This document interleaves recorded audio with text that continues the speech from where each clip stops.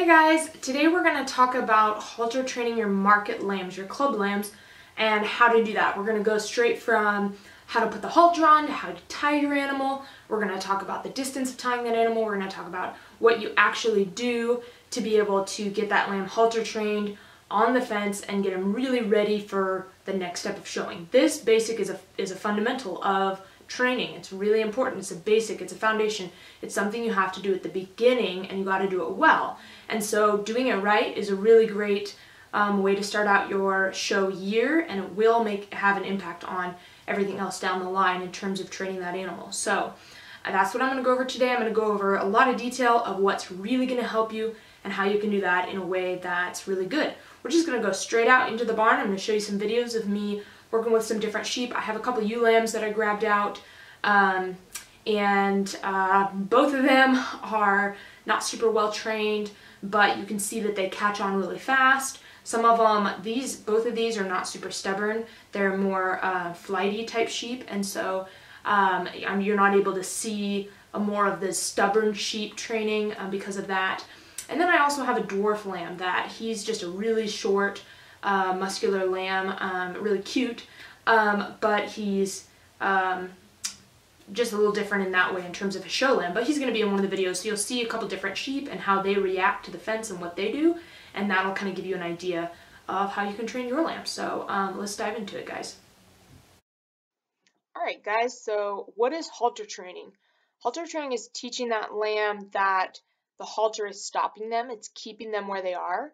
And so it's it, starts by just tying them to the fence like this little guy and just letting them kind of move around and figure out what is this halter, um, what can I do? You know, they'll pull on it, they'll maybe jump a little bit, they'll move around, and they'll figure out that the halter is has them constrained and that they need to stand and respect it.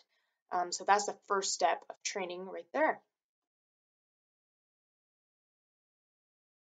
All right, so the next thing I'm going to show you, we're going to talk about how you put that halter on your lamb and um, so that you can see how it's done and you can do it correctly. It is very important that you put the halter on your lambs correctly so that it doesn't um, get up in their eyes or get down too low on their throat. And so here you go. Here's the lamb looking at you. We're going to loosen up the halter. This is how you take it off, right? You're taking off the bottom part underneath the jaw and then you're pulling it up over the ears backwards, right? Now to put it on, we're going to put it on the nose first, okay? Slipping the thickest part over the top of the nose, the ridge of the nose, and then sliding the nose piece down if you need to. So you can slip it underneath both ears, okay? The part going around the back of the head needs to be underneath both ears. And then you tighten down the part underneath the chin, okay? This is very, very important. You need to make sure that the part coming out underneath the chin is the part you hold. That's the, the handle, the leash, the, um, the lead rope part, right? Is that part coming out underneath the chin, okay? Very, very important so that that lamb has that on correctly and it doesn't get up in the eyes, okay? So we'll show that one more time so you can see how that is done and watch that so you can make sure and get it right.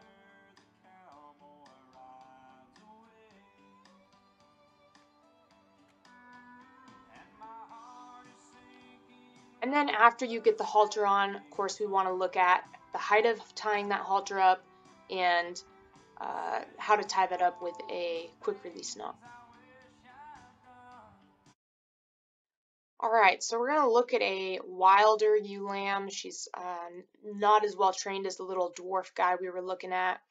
And um, when I tie her up, she's tied up in a better place here than he was.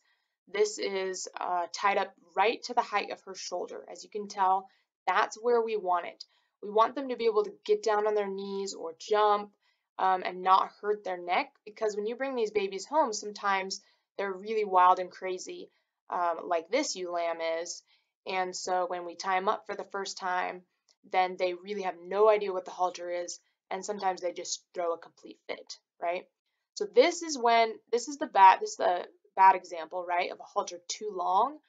So she has too much freedom. And then right here, we can see this one is too close. She doesn't have enough freedom. If she fell down or she jumped or she started going crazy on you, uh, you would need to untie that really quickly. So having enough halter so that they can get down on their knees and jump without it being dangerous um, is good. Okay, so again, this is the correct length right here.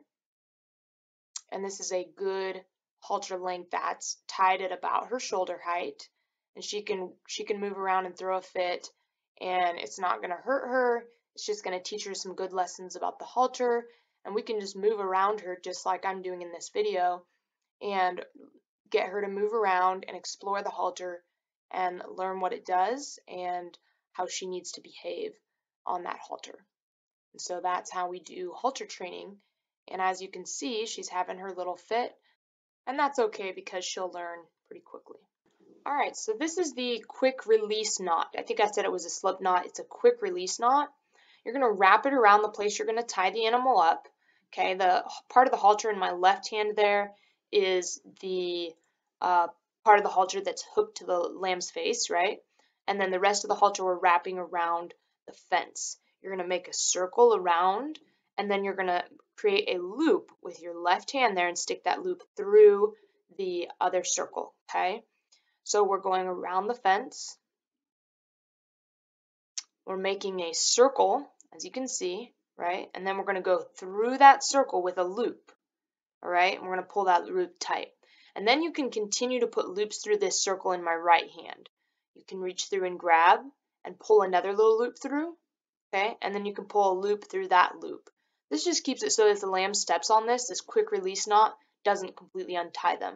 And I'll show you how that works as well. So we're just gonna leave it like that. And then when you grab the tail end of the halter, that's when it will release, okay?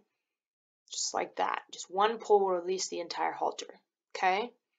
And you can watch the full thing one more time. What we're gonna do is we're gonna wrap it back around, making a loop putting a loop through that and continuing to make it more secure just by looping it through. These extra loops you don't have to do, but it gets the rest of the halter off the ground um, as a safety measure. One thing you can do there is you can also take the tail end and put that through the uh, last loop. I'm sorry, here. We'll stick it through that last loop right there, and then that's kind of a safety feature. And then you just have to make sure you remember to take it out of that loop before you pull it to release the halter or it won't work, right? That'll help you out. That's how you do the slip knot.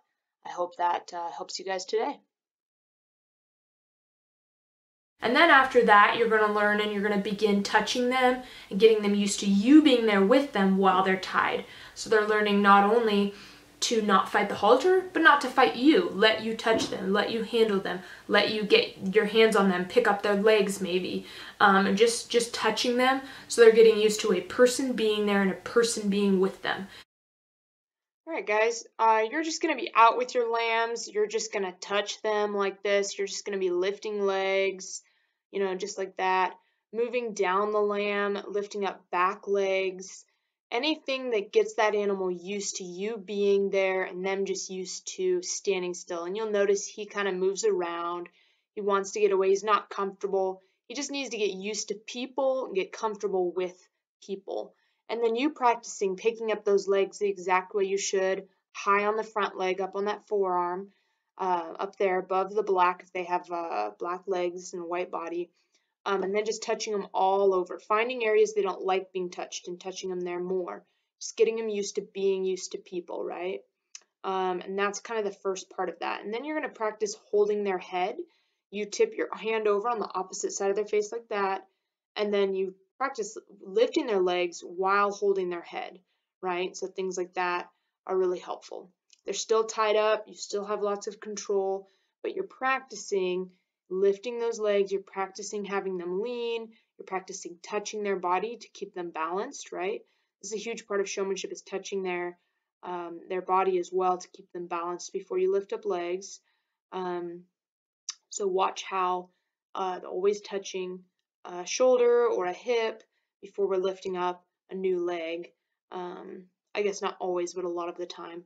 And then again, we're just touching and getting him used to it. So spending time, guys the more time you spend with these animals, the more different things you do, the more comfortable they're they're the more comfortable they're going to be, and then everything you do on show day, you're going to be the most familiar person there. So that's what uh, that's what you do to train your lamb, guys. I hope this helped you today, and um, hope to see you in more videos. Be sure and subscribe, and we'll see you soon.